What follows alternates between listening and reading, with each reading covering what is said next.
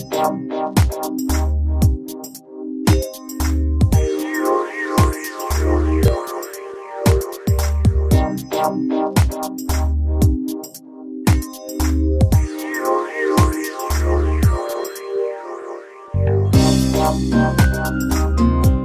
O ciclo de conferências Horizontes do Futuro fez a sua reentrée com a estreia do primeiro convidado internacional, Juan Del Pozo, filósofo espanhol. A apresentar o convidado esteve Carlos Fernandes, do agrupamento de escolas Engenheiro Duarte Pacheco.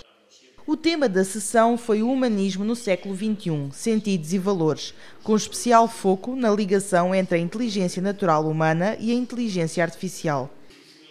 Através de variadíssimos exemplos, o orador mostrou que os valores do humanismo têm estado na base da nossa sociedade desde o tempo que nasceram. Desenvolvemos-nos a equacionar o nosso ser racional, ético, social e estético, e por isso afirma que o conceito está vivo.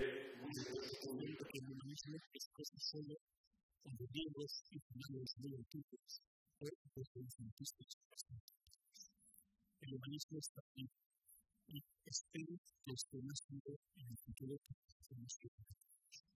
que creo que va a ser una manifestación con el presidente en una sociedad que es más tecnificada, más compleja, más difícil de conocer. Esto es decir, que las personas, los seres humanos, reflexionemos sobre nuestra propia condición,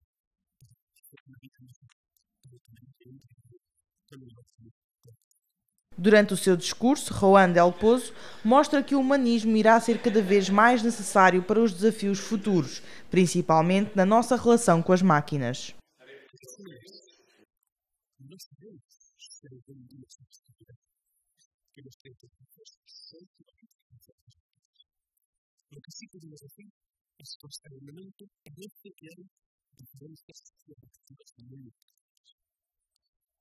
Que.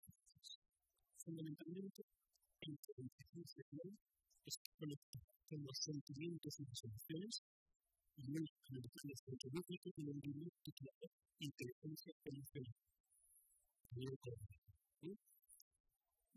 ¿Qué dice el análisis de ese señor?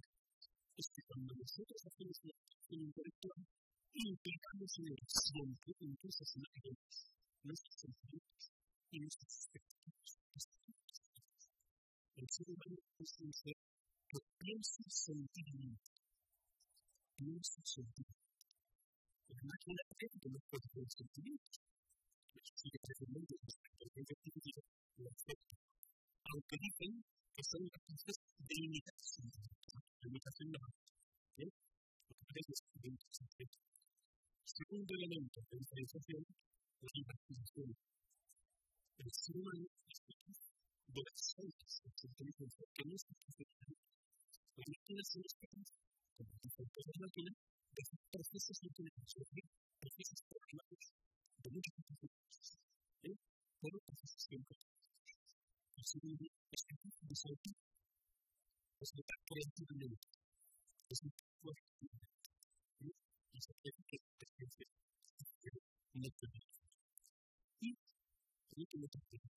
El pensamiento humano tiene un sentido crítico.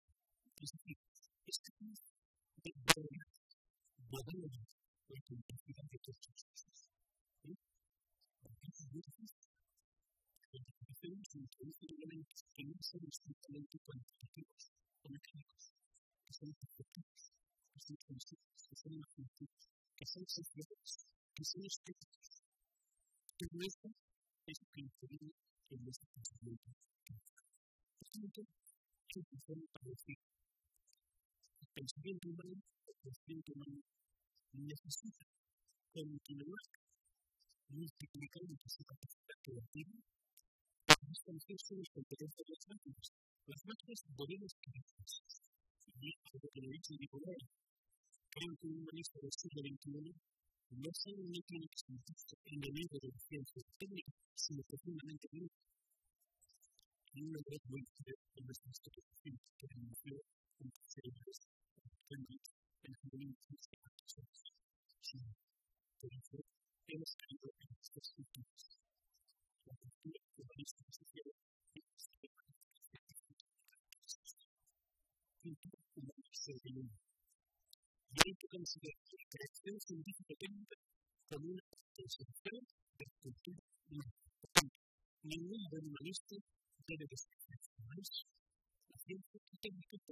también productos de. Pero dice que son un ejercicio,